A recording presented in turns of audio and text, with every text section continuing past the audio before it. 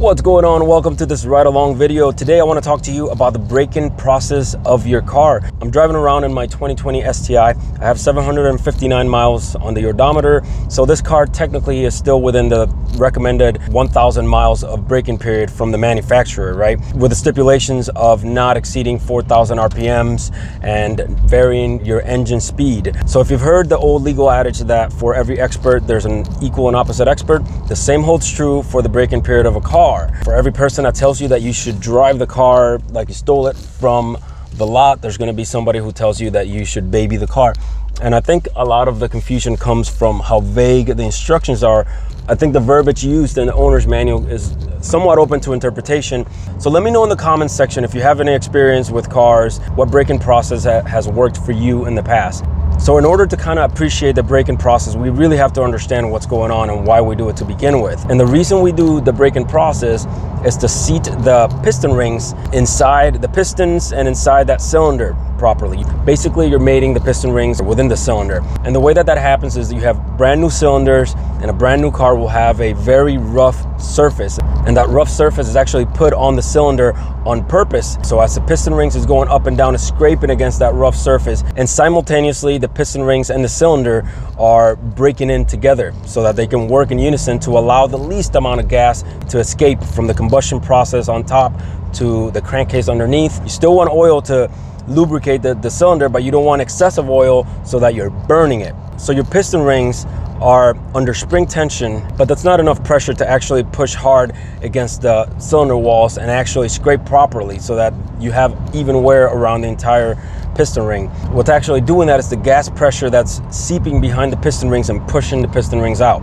A normal byproduct of, of this is some of that gas pressure will seep through, will blow by the piston rings and make it its way into the crankcase. So that's why it's called blow by. So high pressures in the crankcase causes all sorts of issues. You know, you can have loss of power, you can have you can develop leaks because that pressure and that oil has to find a way out and you know it's going to try to find the, the, path of least resistance basically so it could either go back up the cylinder or find its way out a, another gasket somewhere or a seal somewhere so it's important to vent that pressure in the crankcase now it used to be vented to the atmosphere obviously that's really bad for the atmosphere so they developed the modern PCV system so that crankcase gas gets routed through the PCV system and it makes its way back into the intake.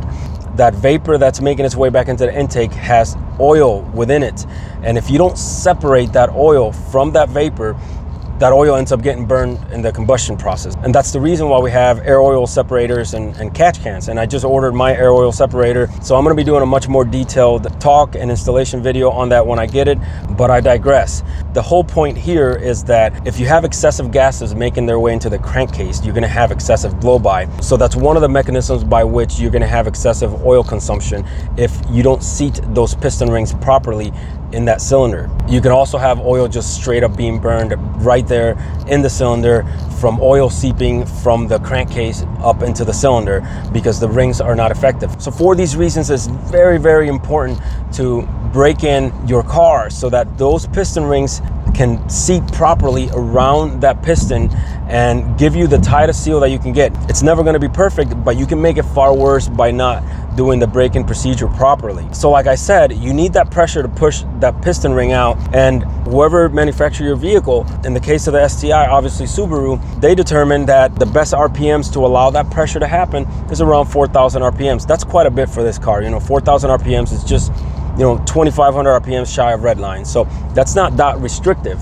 but they figure that much more than that can cause really high pressures really high temperatures and you can cause uneven wear of those rings and uneven mating and again that's counterproductive to what you're trying to do. And the same thing happens if you're just kind of coasting at 2000 RPMs or whatever, and you're not varying your engine speed and you don't present that pressure to those piston rings to push out against the cylinder.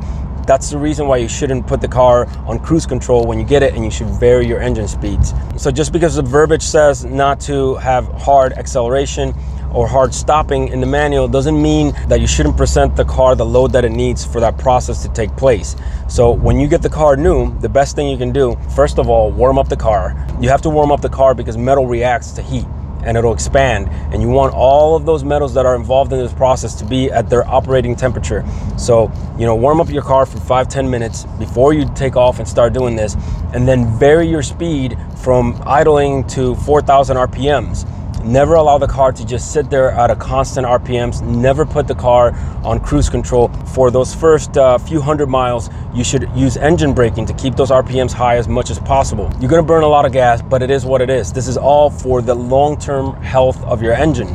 Your brakes also have to break in. And I mean, that happens very early on when you uh, first get your car, but if you're off the lot, wide open throttle, hitting red line, you're probably gonna end up stopping very abruptly. You're not gonna be doing yourself any favors because then your rotors and your brake pads are not gonna wear in evenly like they're supposed to, and you can end up having long-term issues from that as well. Another big point of contention here is how long should you do this for? A thousand miles is a long time. The break-in process happens very, very early on when you first start driving the car. You're buying your car, even if it's new and it already has 40 miles from people test driving the car, then you better believe that a good chunk, if not all of the braking process uh, has already been done by the people who test drove the car or even by dealer employees. But the point is that the braking process happens early. If you're doing it right, 500 miles is enough. But if you don't and you're giving the car excessive RPMs or you're doing the opposite and just uh, driving around and, and putting your car on cruise control, you're gonna cause glazing of that cylinder wall. And you might never even know that you did damage, except that you may have maybe excessive oil consumption. You might not even realize where it's coming from, and it may just be from a poor break-in process when the car was brand new.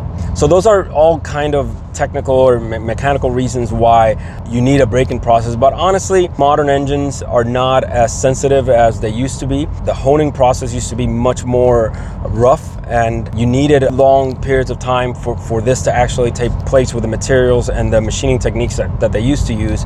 That's not the case anymore. These cars are built with re really exacting techniques and good materials, so you don't need a very long braking period. That said, the braking period is a perfect opportunity for you to learn your car. If you have limited experience on manual transmissions, this is a good opportunity for you to learn to drive your car before you start driving aggressively. This particular car has different drive modes. The difference between intelligent mode and Sport Sharp is, is pretty striking. You know, when I put the car on Sport Sharp mode from intelligent mode, the car sometimes lurches forward. So that, that's how big of a difference there is. You know, it has that adjustable center differential that requires a little bit of know-how. This is a, a good opportunity to really learn to drive the car gracefully. It takes time to learn rev matching. It takes time to learn the clutch bites. And it takes even more time to have it all be second nature, which is ultimately the goal. So for all of those reasons, I decided not to rush this process and just take my time. For the first 500 miles, I was very strict with it. And now I'm just kind of getting to know my car. When I hit that thousand miles, I'm going to change the oil, which is something I recommend you do because uh, if you have any metal fragments from the manufacturing process where they're, they're going to be in your oil. It's a smart thing to just change your oil after that first thousand miles. And I'm also using it as an excuse to install a quick valve. So that's a video coming up. But that's that. So again, let me know in the comment section what your experiences may have been in the past with breaking in cars. Consider subscribing for more content like this. Thanks a lot for watching. I'll see you next video. Take care.